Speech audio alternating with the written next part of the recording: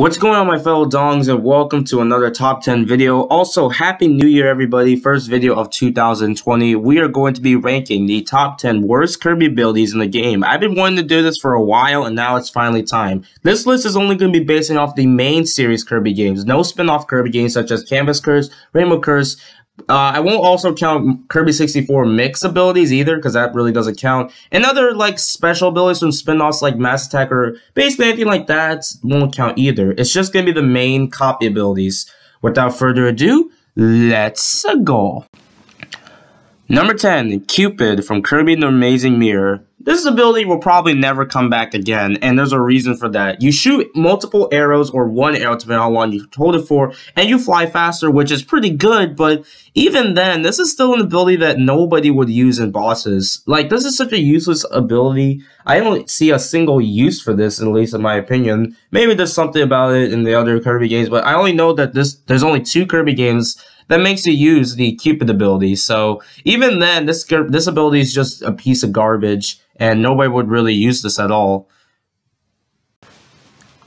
Number 9, Parasol. Here's an ability that has never left the Kirby series since the beginning, and it's been in like every main series Kirby game, and it still is to this day. Now, people are gonna disagree with this list, putting it a little lower, but I know a lot of people like Parasol for multiple reasons. Maybe because of Star Allies it got better, but even then, this is still a very useless ability. Like, there's really, even Star Allies, there's barely a use for Parasol. Does anyone actually like this ability? Now, sure, it is a classic ability, which makes it good, but even then, this is still a pretty trash ability, so yeah.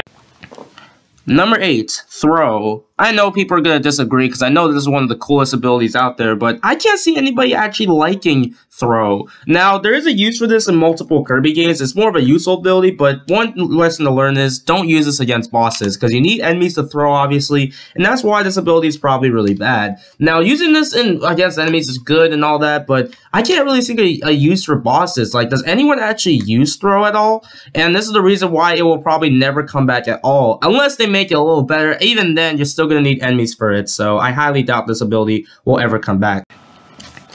Number 7, Backdrop. This is basically Throw 2.0, but kind of in a bad way. You need enemies once again, but you do some really cool tricks depending on the direction you hold. You grab an enemy, you, ch you choose a direction you want to go, and that's basically it. It's just hitting enemies, and that's it. I don't know how useful this works in bosses, because I never, ever, ever use this in bosses at all.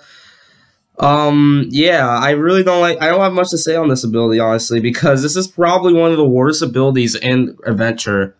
The only downside to this, I really wish there were many uses in bosses just to throw enemies, but hey, that's, that's a topic for another time, I guess. Number 6, Ball Kirby. This is by far probably one of the weirdest abilities I've ever seen. You just turn into a ball, you bounce around by pressing the button multiple times. Well, you can't spam it obviously because you need to time it. And you be invincible, which is cool, but not for a long time. I can't see a use of this in bosses. This is by far one of the dumbest abilities I've ever seen. Now, sure, it could be useful in some cases, but I can't see anybody liking this ability. Does anyone actually like Ball Kirby? Number five, Stone. I know you guys are probably going to disagree with my list right now because I know this is one of the most iconic abilities ever and has never left us since. Well, it's pretty much on the mess side, honestly, to me, because maybe since I don't like using this in bosses, but this is more of like an helpful ability. You just turn into a stone and be invincible as much as you want while ha have fun dealing with this in bosses because you can't keep this on for long. You're not completely invincible. It's not like a broken ability or anything, but I just feel like this ability is just more on the mess side. I really wish there was more of a use of this in bosses, but at least they kind of stepped it up with their moves. But even then, I never really liked Stone, honestly.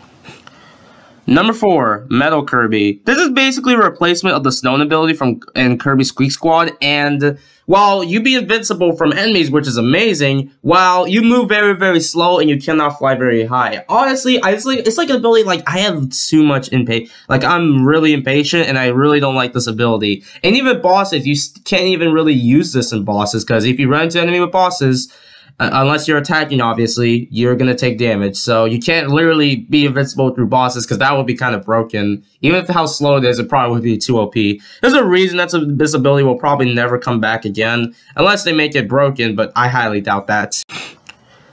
Number three, cleaning ability. This is by far one of the weirdest abilities I've ever seen. Ever since I played Dreamland 3, it's pretty useless. While Star Allies, it came back, and it made it a little more interesting where you can basically give the Star characters or whatever they're called uh, the ability for win. Well, that's cool and all. This this ability is still useless for bosses, and that's it. Really, not much to say on this one, and there's barely any moves for this. While sure, you can use some of the Dreamland Three enemies or helpers for your for the move set, but even then, this is still one of the weirdest abilities ever, and I. Number two, Bell. This is by far one of the weirdest new abilities I've seen, and people are probably going to disagree with my list because I know a lot of people probably forgot this ability existed. This was only used in one Kirby game, which is Kirby's Triple Deluxe, and even then, this is by far one of the boringest new abilities I've ever seen. And maybe it's because I don't like how it attacks and is kind of like eh, underpowered and not powerful at all. But it's just that nobody likes this ability. Like, does anyone actually like Bell for silliness? Just use freaking Beetle. That's way better. I can't get over it. And number one is sleep. I mean, I don't think anybody's surprised to see this number one. What useful is this? Nothing. Well, you basically sleep if you pick this up for like, I don't know, five seconds, I guess.